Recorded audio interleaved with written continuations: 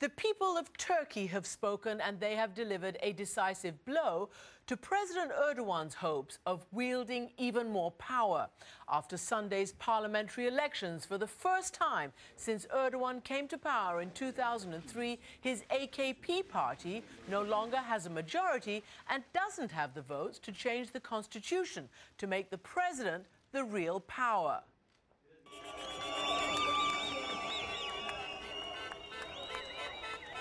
Instead, there were scenes of celebrations for the opposition, People's Democratic Party, or HDP, which won enough votes to become the first pro Kurdish party to have official parliamentary representation.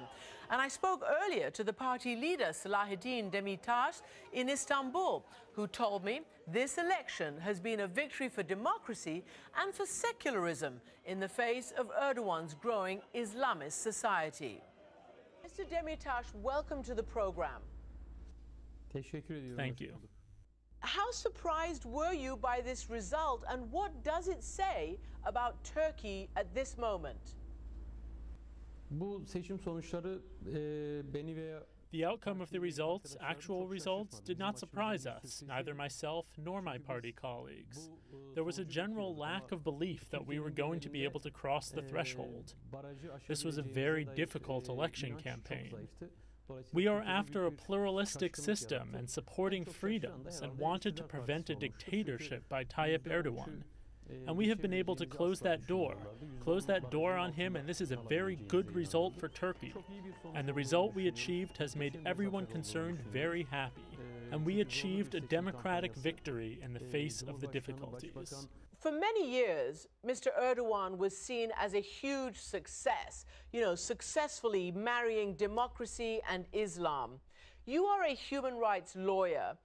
What do you think were the human reasons for this result in the polls?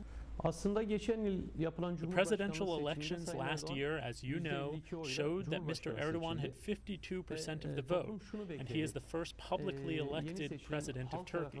And it was expected that he would act as a referee, as a middle person amongst the politicians. But Mr. Erdogan said that is not going to suffice for him. He expressed his will, his wish to change the constitution and become an active president, a presidential regime. But the general public, it seems, did not like his attempts. They showed them a red card. They prevented them from forming a single party government.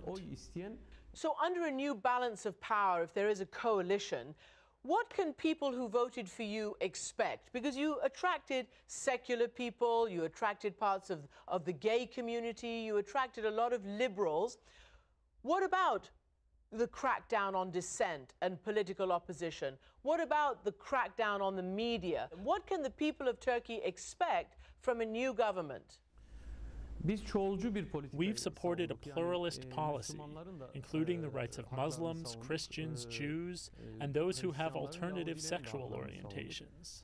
We did not discriminate against anyone, and we've carried out these policies at a time in a region where such discrimination and such tensions are rife. It is important to support and protect the rights of all these groups, including the Kurds, the language, etc. AKP has not been able to form a permanent, stable society.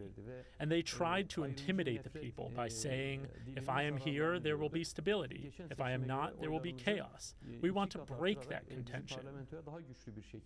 Mr. Demirtas, it is still the case that the AKP, Mr. Erdogan's party, controls the most votes, still has the most votes and the most power. So, how do you believe that your incredible success and achievement will actually change the balance of power, or at least change politics? Evet, AKP parlamentoda çoğunluğa sahip It true that the AKP has the majority in parliament, but they don't have the numbers to form a government, a one party government, thanks to the high number of votes that we received. But there will be another era of coalitions, or maybe early elections. The election results are important for the improvement, and the AKP has to give up a one man regime dream. Therefore, they will have to come try and find a solution in cooperation with the opposition parties. Uh, Mr. Demirtas, are you afraid for your own personal safety? There were two explosions during one of your campaign rallies on Friday, just two days before these elections. Who do you think is responsible for that? Evet, seçim döneminde e, Frankly, we receive threats directed at myself and my colleagues, but this has not given me any concerns. We try to take steps for protection, personal protection. Being a Kurd and defending a plural democracy in Turkey can be seen as a threat by some people, and we knew when we set out on this path that this was going to be the case. But we have to be courageous. But do you know, do you have suspicions? Is there any information about who would have set those explosions?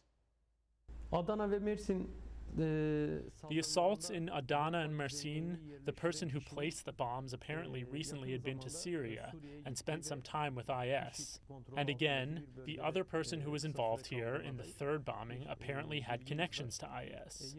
We believe that for them to be able to carry out these attacks, it was possible either because the government's intelligence work was poor, they had felt the courage to be able to do that but at the end of the day, this is the government's responsibility to prevent such attacks, such atrocities.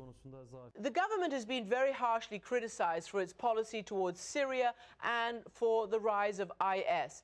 Can you see Turkish policy towards Syria changing? There have been many mistakes carried out in the past. I don't think they're going to be able to continue with that if there is a coalition government. I don't believe a coalition government will be able to continue to support groups such as IS and other extremist groups in the area. And those policies helped the situation in Syria, where there was no solution possible. What needs to be done is to have a policy that will embrace all of the groups and peoples in the area. Mr. Demirtas, what about inside your own country? What prospects are there for peace with the Kurds, with the Kurdish population, with the PKK and all of them who they represent? Certainly, Mr. Erdogan did try that. There has been a dialogue process in the last two and a half years for the solution of the Kurdish question.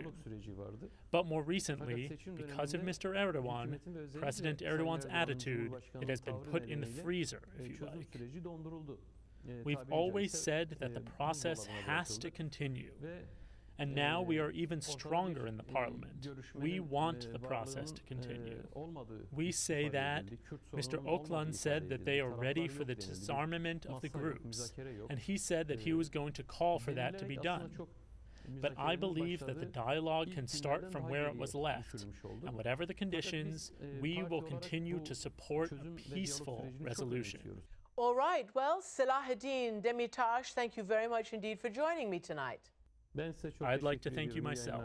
Thank you.